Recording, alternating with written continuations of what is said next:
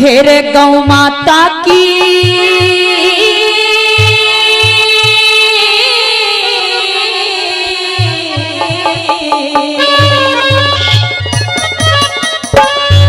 हेर गौ माता की सेवा करियो। हेरे भारत के नर नारी। फिर चारों वेद बड़ाई करते हे। मुनि ब्रह्मचारी।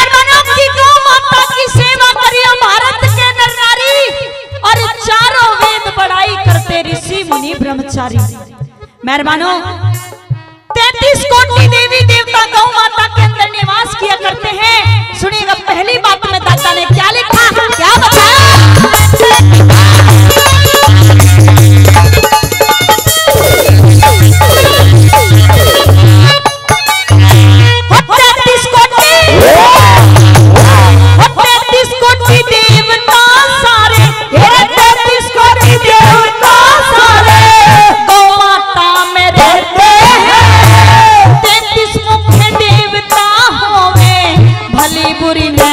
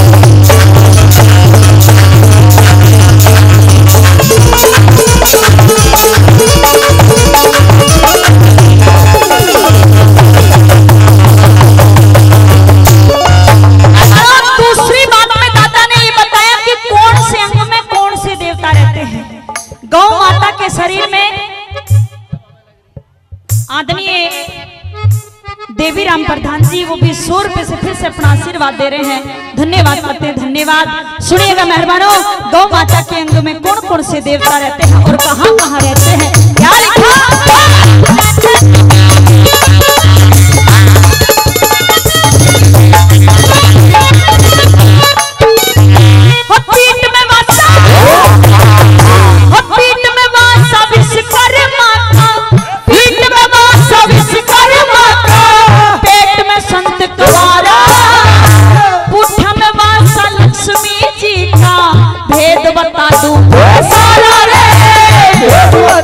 Santo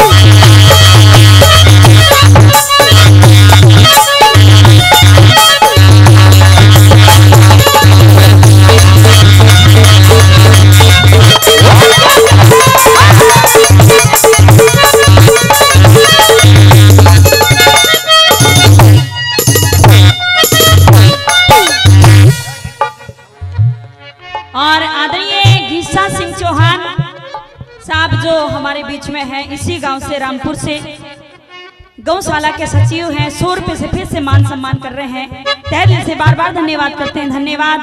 और आदरणीय शिव कुमार पंडित जी ढाणा से पहले भी बहुत सारा पुरस्कार हमारी पार्टी को दे चुके हैं, फिर से सौ रुपए से अपना आशीर्वाद दे रहे हैं। तह दिल से बार बार धन्यवाद करते हैं, धन्यवाद। और पचास रुपए और दिए, अंकल जी ने नाम नहीं बताया। धन्यवाद करते हैं, धन्यवाद।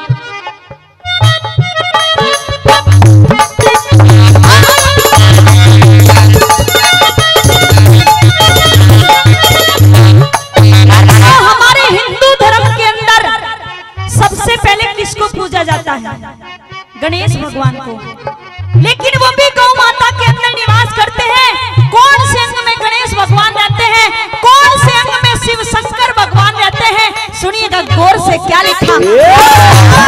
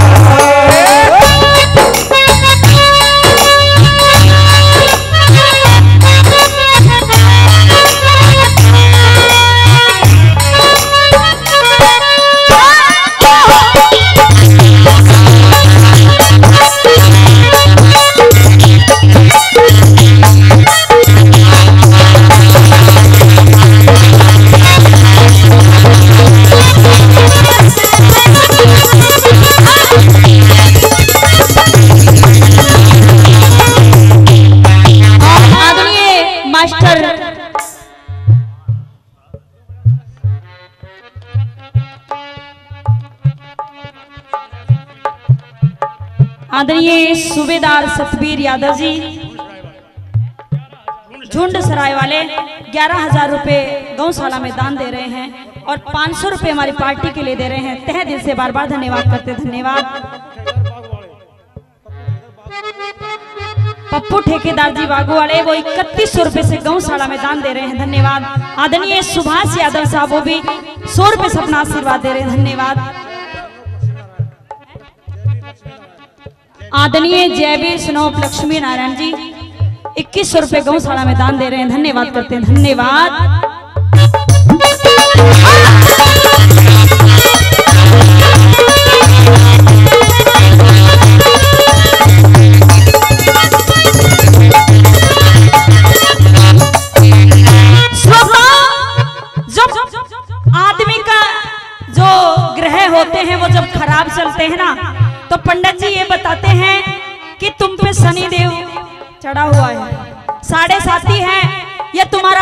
खराब है, मंगल खराब है। लेकिन अगर गौ माता की सेवा कर लोगे तो ये सब दूर चले जाएँगे अपने आप ही। गौ माता के अंदर सारे देवी देवता निवास करते हैं, मेहरबानों। गौ माता की सेवा करनी चाहिए। और ऐसा बताते हैं कि अगर गौ माता की सेवा कर ली तो समझो भगवान की सेवा कर ली। चौथी बात में क्या लिखा? क्या बताया?